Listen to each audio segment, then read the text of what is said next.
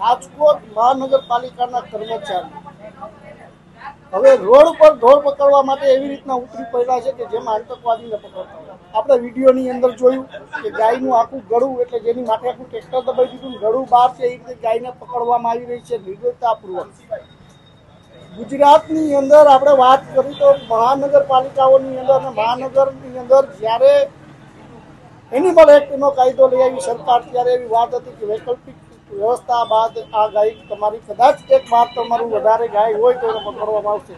પણ એવી વાત નહોતી કે આતંકવાદીને પણ શરમાવે એવી ઘટનાઓથી ગાયને પકડવા જ્યારે આપણે જોઈ છીએ, ત્યારે ગાય નીચે છે, ટ્રેક્ટર માથે છે ને એના માણસો મારે છે. આની પહેલાં ભૂતકાળની અંદર ચારથી પાંચ ગાયોના મૃત્યુ આ રીતે થયા છે. આની ઉપર જવાબદાર જે અધિકારી છે એ કઈ રીતે સૂચના આપે છે તમે ઢોર પકડો? આજની જે ઘટના બની રાજકોટની અંદર, વાણિયાવાડી વિસ્તારની અંદર એ ઘટનાથી સબક શીખવો જોઈએ કે આ ધરતી ઉપર જેમ ગાયનું લોહી રેડાઈ રહ્યું છે, એક દિવસ એવો આવશે કે ધરતી લોહીથી ભીની થઈ જશે. ભગવાન દ્વારકાધીશ કૃષ્ણ કનૈયા જ્યારે જ્યારે જન્મ લીધો છે, ત્યારે ગાય માતા માટે લીધો છે.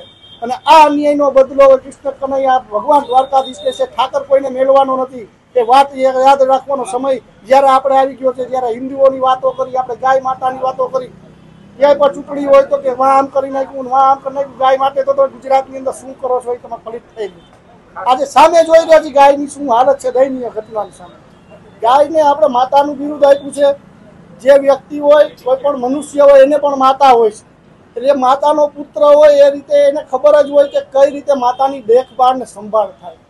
પરંતુ નિર્દયતા પૂર્વક પકડી રહ્યા છે એ હાઈકોર્ટની અંદર પણ કહેવામાં આવેલું છે.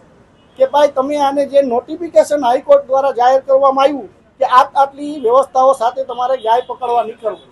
પરંતુ નહીં, કોઈ અધિકારીઓના સારા થવા માટે કે ઢોર પકડવા નીકળ્યા છે કે આતંકવાદી પકડવા નીકળ્યા છે, એ કોઈ વસ્તુ સમજાતી નથી.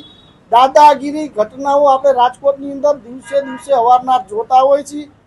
આ કર્મચારીઓ છે કે એના અધિકારીઓ એલાય હોય એલાયની દાદાગીરી આપણે જોઈ તો ઘરની અંદરથી ગાય કાઢી લેતા હોય છે દાદાગીરી કરીને.